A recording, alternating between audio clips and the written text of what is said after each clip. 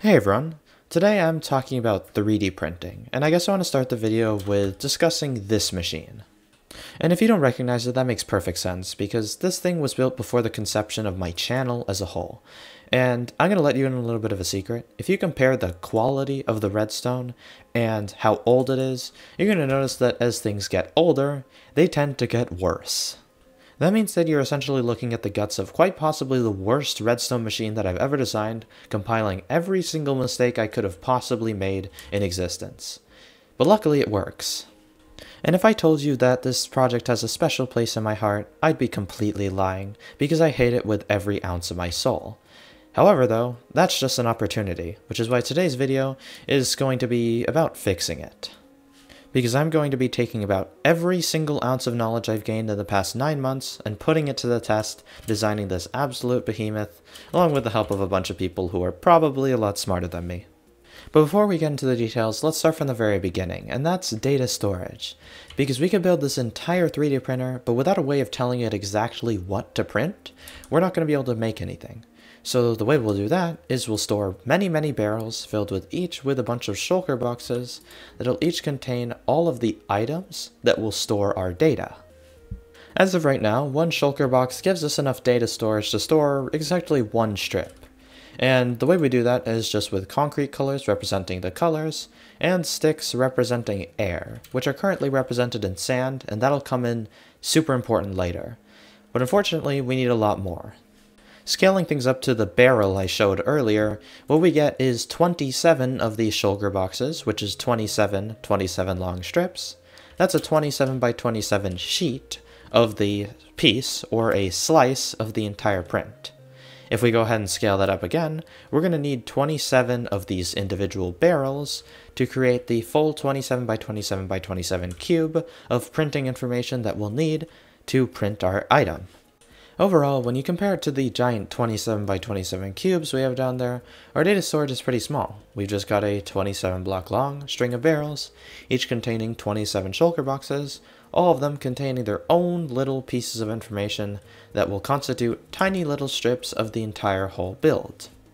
Now, accessing this data gets a little bit more complicated, but in short, each of these barrels essentially has the ability to be called, which sends the shulker box in there to this box unloader. And what that does is it takes the box and pulls out each and every single item in order, runs it through this nice sorting system, and each of these is going to trigger their own colored slice and send the signal to the filament section to send the particular color directly to the next stage of the printer.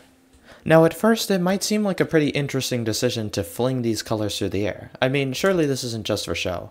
And the reality is that this really kind of interesting design serves an incredibly important practical purpose, and that's retaining the order of our colors.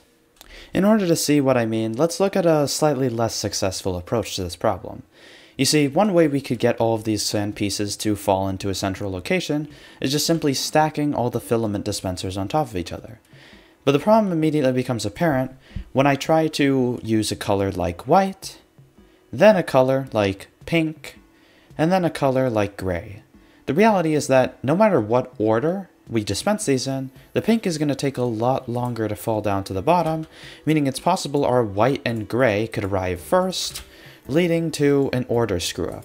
When we wanted the pink to be between these two, it actually ended up on top and that's because it takes variable amounts of time for our filament pieces to get to the end location. However, if we instead choose to put every single filament dispenser on the same Y level, and simply just use slime blocks to fling them all to the right location, we can ensure that it takes the same amount of time for each piece of sand to fall to the desired location. As you can see, each piece of sand has even spacing no matter which dispenser it comes from or how far it has to travel in order to get there. Although it's undoubtable that there are definitely a bunch of other, slightly less contrived solutions to this problem, I really did want to take a page out of the super fast Ender Pearl Cannon handbook and fling the sand through the air to make sure it all arrives at the same location in just the way I wanted. Now, after the colors are sort of sent in from above, they all get funneled into this really long strip maker, which essentially just makes these strips that will eventually formulate the walls, that will eventually formulate the whole print. Okay, so now that we understand how to turn data into color, I want to address one of the most fundamental problems of almost any kind of 3D printing that exists both in Minecraft and in the real world. And that's the unfortunate need for supports. We live in a world of gravity, and that means that placing things on floating surfaces is a little bit more difficult than placing stuff on stuff that's already there. Luckily though, I have the perfect solution, and part of that is actually actual cleverness, and the other part is the fact that we're in Minecraft and 99% of our blocks actually don't even have to worry about gravity. Now, this is the super cool part where the sand comes in. Because the thing is, is that all of our blocks we're using are concrete powder, except sand. And sand has one unique property. It's, well, not concrete powder. That means that it doesn't cure into solid concrete, which means that when we actually wash all of it, it's the sand that's going to remain as a gravity block. And when we put it to the test by forcing it to float for a brief moment, we'll see that it'll do exactly that. It'll just fall straight down, whereas the concrete blocks remain perfectly in the air exactly where we need them to be. What this essentially means is that, although we had to use gravity to create this entire slice, because since we are stacking things on top of each other, we no longer have to obey the rules when we convert everything to concrete and punch out all the air blocks. But this strategy actually creates a new problem, because the reality is, is that once we've gone ahead and Swiss cheesed our entire thing, it's now really difficult to move this thing. We can't move it as one whole layer, because it's just going to sort of squash together into the air spots we just created. What that means now is that we actually have to move this entire wall forward, to a very specific distance without it interacting with any other walls. Otherwise, they'll just simply smosh together, and nothing's to work. In technical terms, what we essentially need is exactly what this machine is. It's a giant piston wall that will move exactly as far as we tell it to. Except, I didn't design this, because I'm really bad at Slimestone. When I tried for about 30 minutes and got essentially nowhere, I decided to go ahead and contact some of my fellow members of Wavetech, and I went ahead to Mythical Pingu. If you don't know who that is, they're essentially a super genius when it comes to anything Slimestone, and they were a massive help, because the thing is, is I contacted them at literally 1am in the morning, and four hours later, they come up with this insane machine, and then go ahead and apologize for delays? I don't know how their brain works. Anyways, point is, go check out what they do because their skill is just unmatched when it comes to Slimestone. I also want to take this time to formally mention that I'm officially a provisional member of the Wavetech SMP, or CMP because I mainly do creative work, simply because a few people have gotten a little bit angry at me for just casually mentioning it without never actually publicizing the fact that I'm there. They're an absolutely incredible tech server with a bunch of really cool people. If you want to learn more, check out the Discord in the description. Anyways, on with the rest of the video. Now we're basically almost ready to start actually printing. We've got the filament ejector, we've got the giant base plate that actually moves our sheets around, and we've got our data. But wait, where did this data actually come from? Because this is a bunch of really complicated shulker boxes that totals to about almost 20,000 items that there's no way I'm placing by hand. And then this is where JKM comes in, another fellow member from Wavetech, and he essentially just makes a program that converts any schematic of any build that is made with concrete colors and converts it directly to that string of barrels that I can put directly into my machine and have it print that exact same structure. Oh, and he also sent me a cone. What an odd object that bears absolutely no significance whatsoever. But before we get into the actual cone shenanigans that are about to ensue, I just wanted to show a tiny bit of taste of what this thing actually looks like running since we've kind of not really even looked at the whole thing together. As you can see, all the sand gets piled down, and it slowly builds up these layers.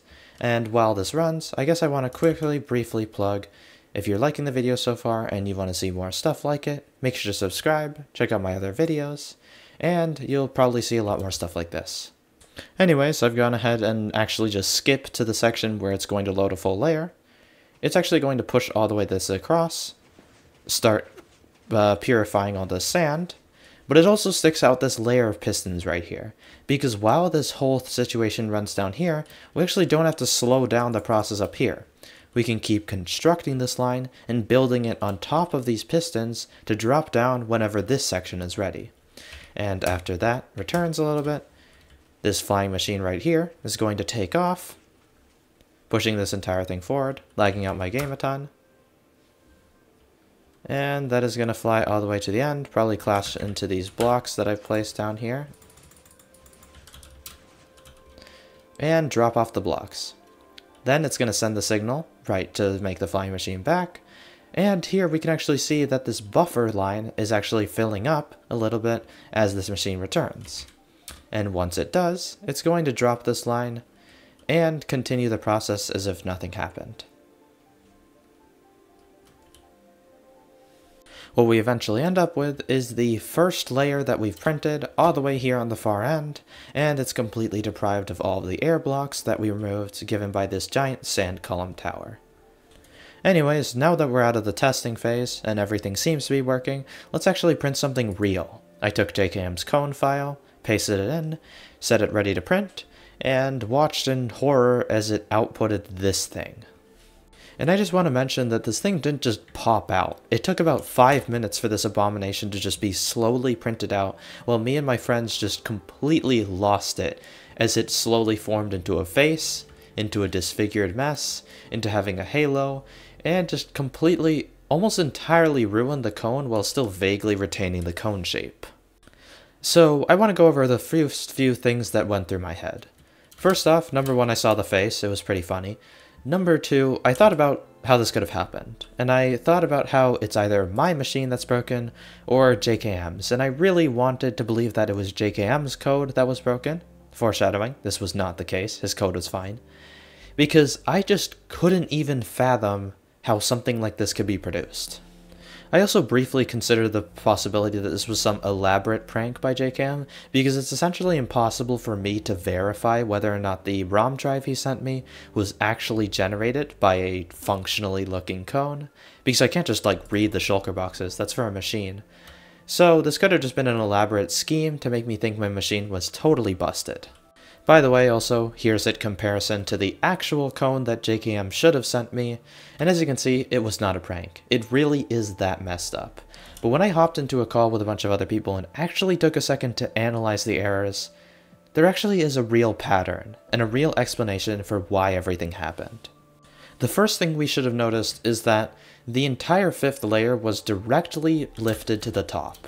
And this isn't some sort of message from the heavens. This suggests that one of the shulker boxes essentially got stuck in stasis for the entire time until it was literally forced to be loaded into the machine when there were no others left.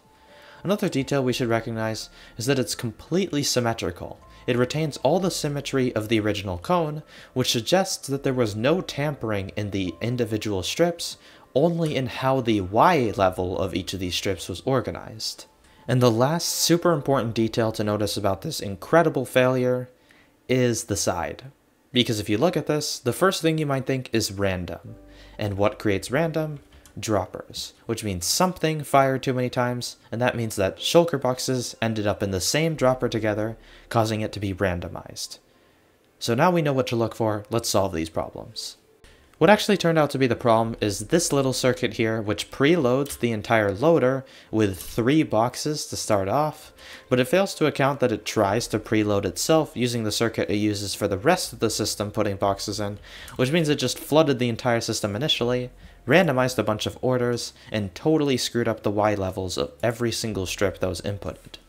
Another important detail that led me to this discovery that I forgot to mention was the fact that the base layers remained entirely intact, which suggests that the preloading mechanism worked perfectly, but everything that happened after that was likely a result of the randomness that the excessive preloading that we caused was causing.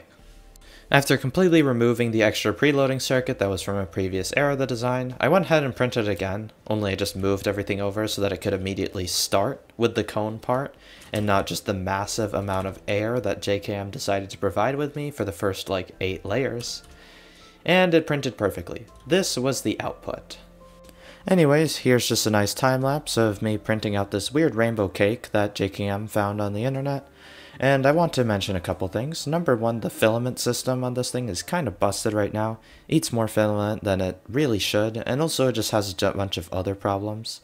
It could also be improved by installing a sand recovery unit that actually takes the sand that is produced from each layer and recycles it to be used in the next one. This would basically eliminate the need to have such a tall sand filament pile. I also wanted to mention that I believe my printer is slightly better than Ilmango's printer because I'm not sure how much speed it actually beats it by or if it's even slower, but the fact that it doesn't have any sand support remaining after the prints is a massive win for me. Anyways, that'll basically be it for today's video. If you want to check out my Discord server, see announcements, see teasers, or just have a chat with me, I'm usually there. Make sure to check that, it's in the description. If you're enjoying the video, make sure to like and subscribe, check out my other content, and I'll see you next time.